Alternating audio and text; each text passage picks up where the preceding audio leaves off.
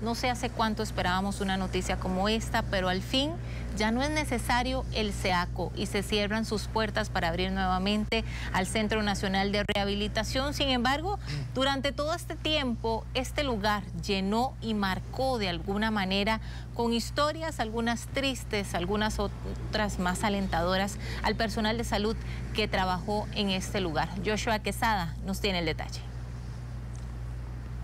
Buenos días, Melissa. El SEACO regresa a ser el Centro Nacional de Rehabilitación y a pesar de que sus instalaciones ya no se van a utilizar para atender pacientes con COVID-19, las historias que vivió todo el personal en este mismo lugar sin duda se las van a llevar por el resto de sus vidas. Justamente estamos con la terapeuta ocupacional Tatiana Fernández porque ella estuvo en un periodo de cuatro meses en el cual le tocaba abordar casos como estos. Eh, Tatiana, tal vez si usted nos pudiera explicar algunos de los más comunes que ustedes se llegaron a topar en estas experiencias de cuatro meses. Buenos días. Hola, buenos días.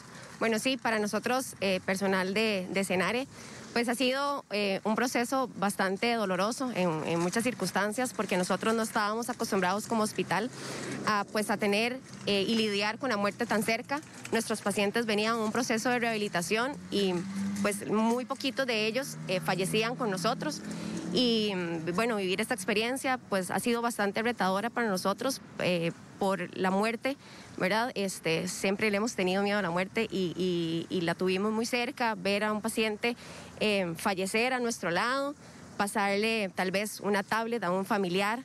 ¿Verdad? Este, que el paciente va a ser intubado, pues son cosas que emocionalmente pueden ser bastante fuertes y que lo vivimos durante, bueno, lo viví durante cuatro meses, este, pero siempre con la satisfacción también de poder ayudar a estos pacientes que, que realmente requerían de nuestra ayuda, ¿verdad? Y a veces un poco frustrados también de, de saber que un paciente eh, pues ingresó al hospital de, mm, bastante estable y ver poco a poco cómo también su retroceso funcional a nivel respiratorio también iba decayendo hasta llegar a complicarse, ¿verdad? Y, ver todo el proceso de, la intubación y ver todo el proceso, este, pues ha sido bastante fuerte porque realmente nosotros no estábamos acostumbrados pues a ese tipo de, de, de evento o ese tipo de población con nosotros.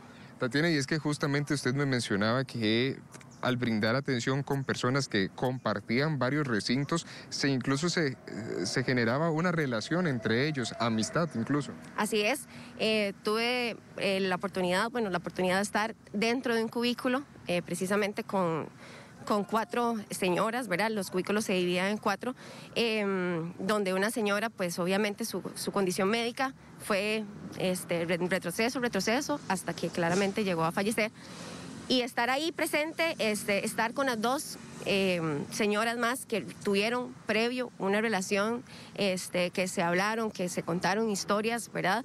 De la misma experiencia de estar aquí pues fue también bastante em, emocionalmente fuerte, ¿verdad? Porque brindarle el apoyo también a las otras señoras, las otras señoras ver cómo lloraban, em, porque realmente hicieron, tal vez no una amistad estrecha, pero sí se identificaron con alguna situación, ¿verdad?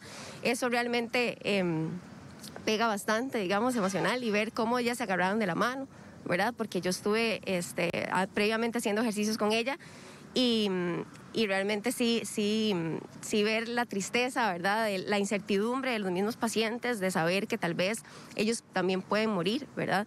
Este, pues sí es, es bastante este, pues retador eh, emocionalmente para, para muchas personas, ¿verdad? Y creo que, que el apoyo también entre ellos era bastante importante.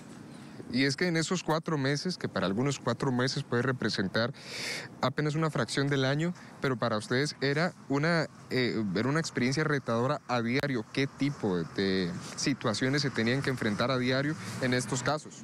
Exacto, era todos los días era un día diferente, todos los días veníamos con con planes distintos para trabajar con algunos pacientes. Digamos, sabíamos que tenemos una lista de pacientes usuarios que podían este, ser, atendidos por nosotros y tal vez llegar el día siguiente de saber de que cierto paciente falleció y el día anterior eh, estaba con nosotros haciendo ejercicios, ¿verdad? Entonces también era muy fluctuante eh, los pacientes, sus condiciones médicas, eh, planear las cosas, ¿verdad? era de día a día porque sabíamos que posiblemente podía fallecer o podía complicarse y no podía ser atendido, porque no todos los pacientes en esas condiciones pueden ser atendidos por nosotros los terapeutas. Entonces, sí, este, condiciones muy dolorosas eh, y día a día cambiantes eh, que nosotros estábamos enfrentados todos. Y por otro lado, también ustedes han tenido esa experiencia de personas que luego de una larga batalla lograron recuperarse. ¿Qué significa para ustedes ver a este paciente que a pesar de que no regresa en el mejor estado, en el estado que ustedes esperaban, sin duda sale, puede reencontrarse con su familia? Claro, creo que sin duda este, esa es la satisfacción más grande de nosotros como personal de salud, no solo como terapeutas, este, brindarle a él y ver todo su proceso, del proceso que estuvo pues eh, ventilado, ¿verdad?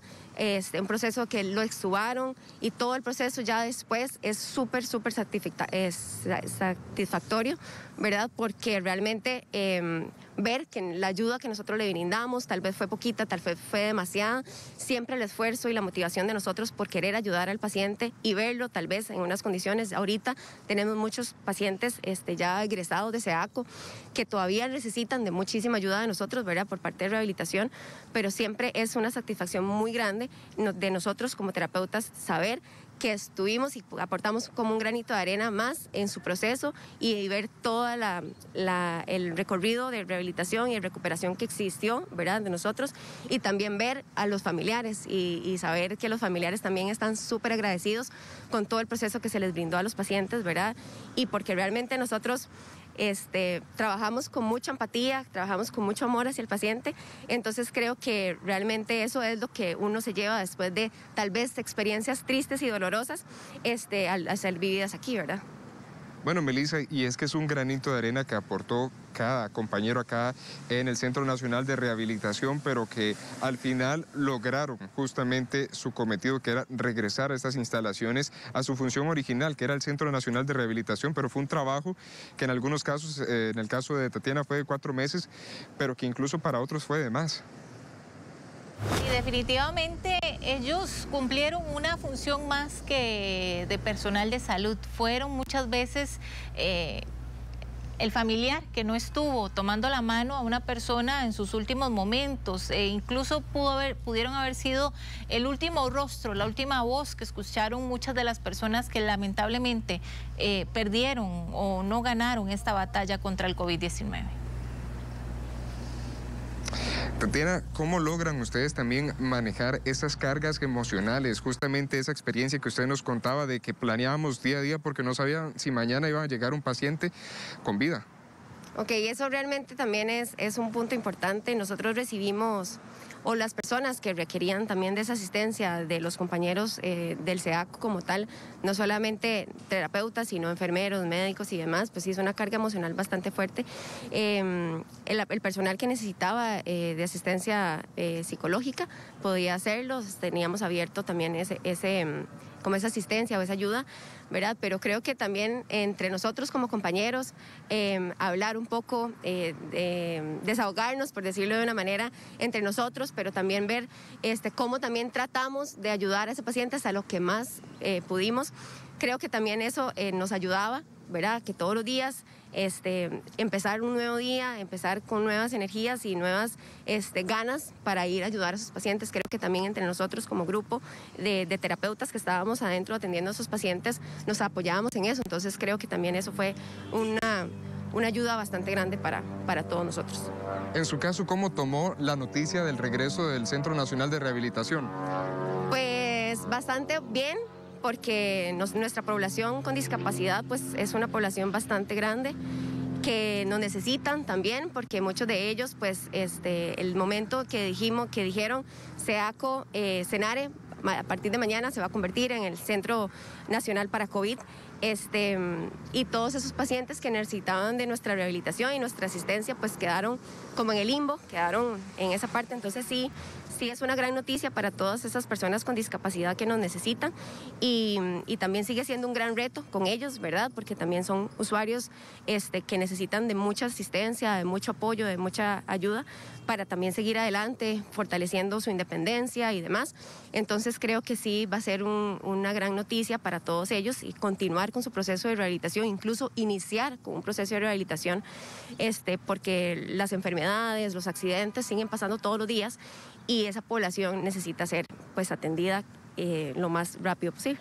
Tatiana, muchas gracias por brindarnos esta experiencia. Como les indicábamos, compañeros, sin duda la noticia de que el Centro Nacional de Rehabilitación regresa a su función original es una noticia muy positiva, pero además conocer esos testimonios de los eh, distintos colaboradores que han logrado que justamente se lleve a cabo ese proceso también nos enseña cómo debemos seguir aportando nosotros, eh, cuidándonos, manteniendo la seguridad en nuestros hogares y sobre todo también agradecerle a, a este personal de salud que día a día se enfrentaban a un panorama como el que nos explicaba Tatiana. De momento, esta es toda la información desde el Centro Nacional de Rehabilitación. Este fue un informe de Joshua Quesada para Noticias Telediario.